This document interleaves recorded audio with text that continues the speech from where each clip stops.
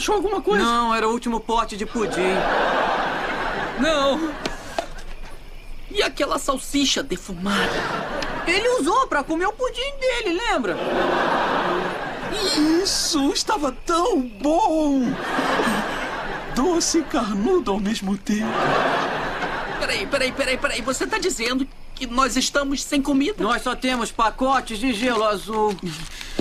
Eu sei que eles são tóxicos, mas parecem sacolés gigantes, deliciosos.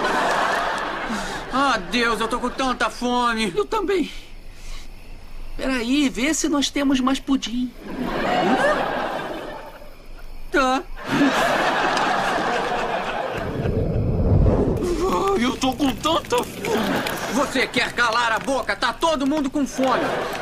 Muito bem. Nosso alvo é o acampamento de escoteiros a leste. Alvo fácil. O chefe dos escoteiros é gordo e os outros são todos criancinhas.